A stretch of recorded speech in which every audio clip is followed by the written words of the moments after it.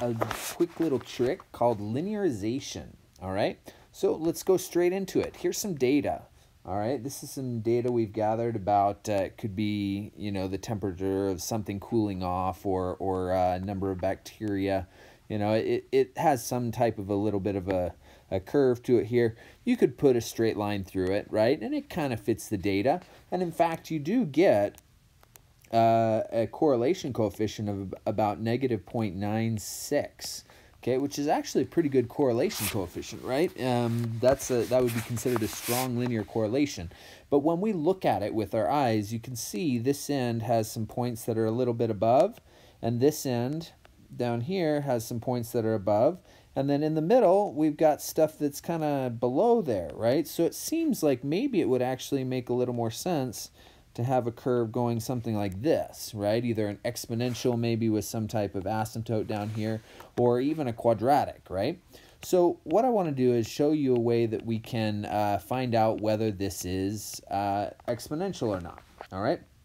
So if it's exponential, okay, then the y value, the b, I believe that stands for bacteria, would equal some constant times e to the CT power, right?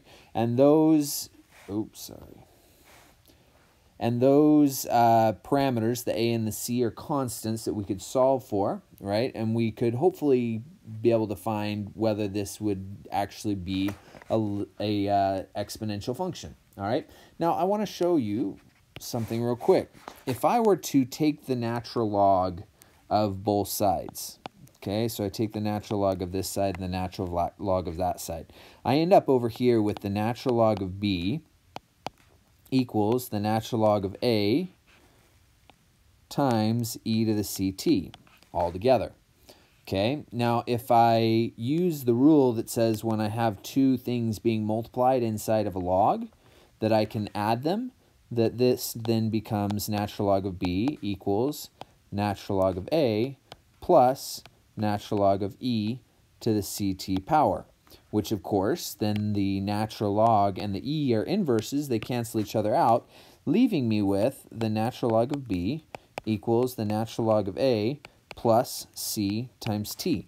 Now this is interesting because what I have here then is the natural log of b is equal to a constant here, plus a constant times my x value. Or in other words, if I rearrange this just a little bit, I'm going to rewrite it as ct plus natural log of a, which now is y equals mx plus b.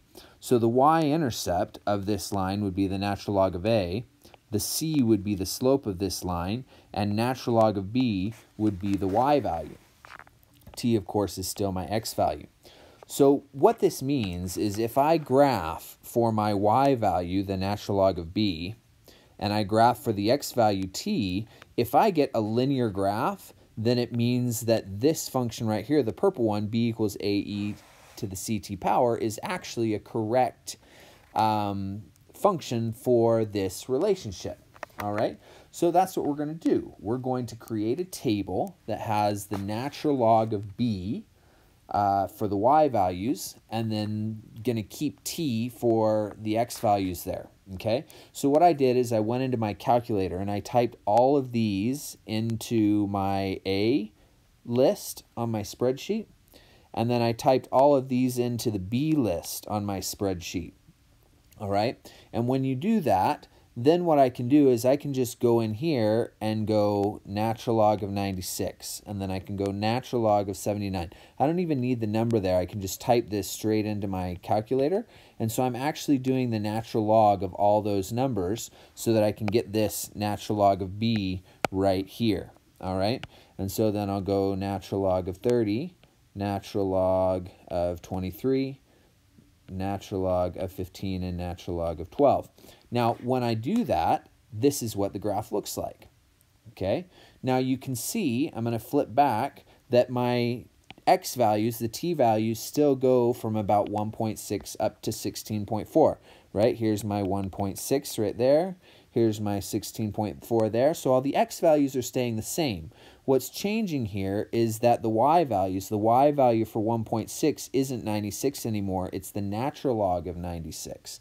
And so the natural log of 96, and you can check this on your calculator, is uh, over 4.4, right? Um, so what you can see is that it is actually giving me a very nice straight line. Okay, and this really nice straight line here, just like this, okay, that one actually has a correlation coefficient of negative 0.9998.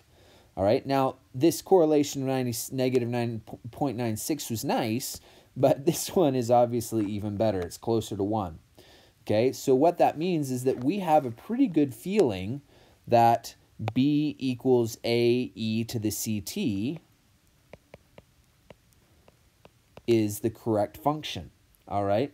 Now, remember, we found out here that c was the slope, and then the natural log of a is my y-intercept. So I can go in here and I can get my y-intercept, and that would be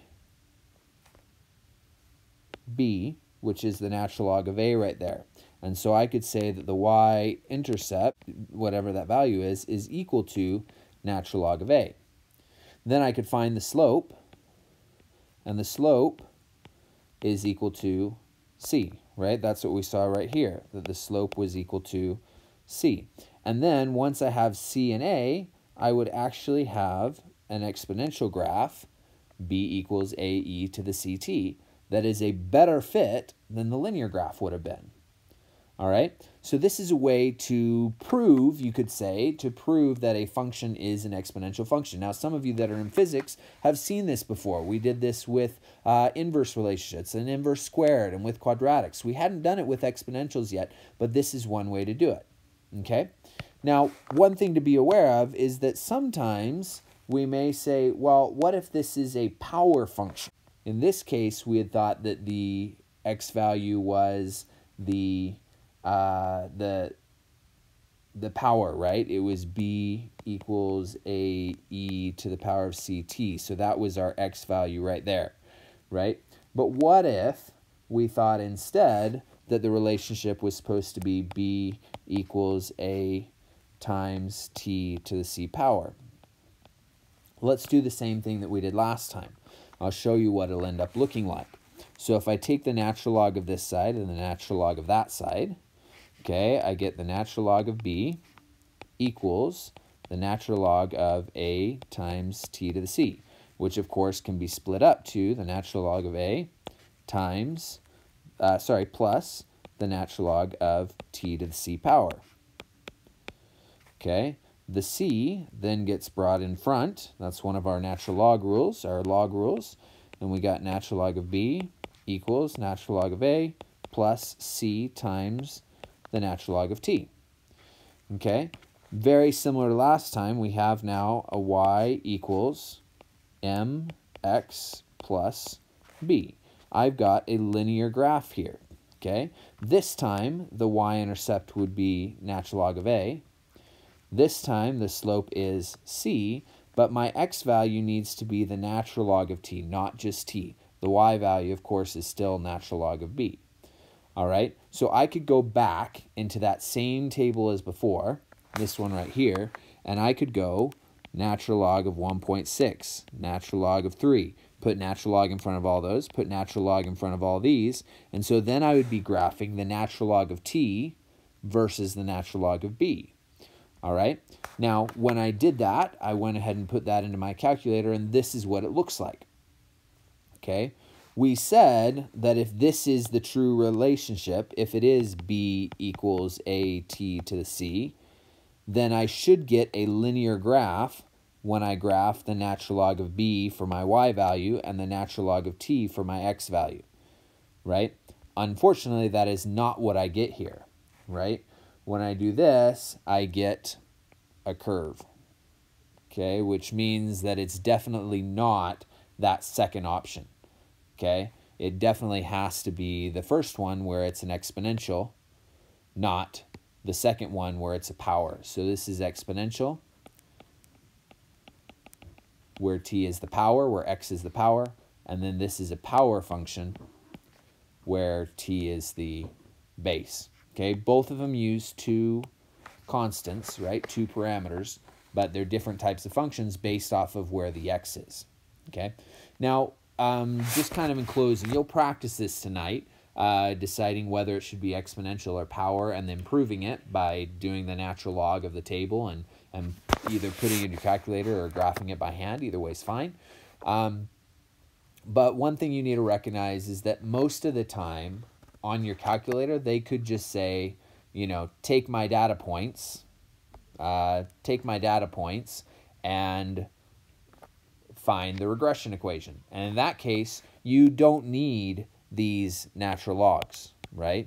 If it just says to find the equation, you put this in for your A column, right, in your spreadsheet, and then this is your B column, and then you go into your menu and you do a statistical regression, and you can just do an, uh, an exponential regression, or you can do a power regression, right? And most of the time, that's perfectly fine. You can just do one of those two.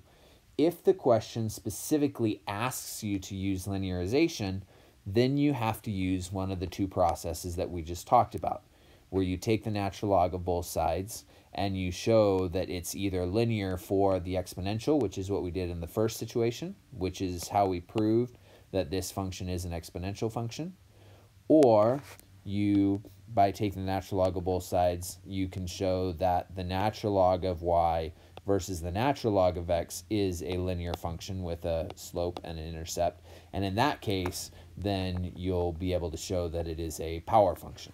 Okay, so tonight you're going to be practicing that. Please do practice using linearization. See if you can figure out what these parameters are, the a and the c. Recognize that they're going to come from the slope and the intercept of your graph. Okay, and then go ahead and go into your calculator and put the regular data in and find whether uh, the exponential regression or the power regression will give you, hopefully, what you calculated by hand when you did the linearization. All right? Um, awesome. This is a great skill. It's something that you can use in your physics internal assessments, something that you could possibly feasibly use in a mathematical internal assessment. So, uh, yeah, good luck and give it.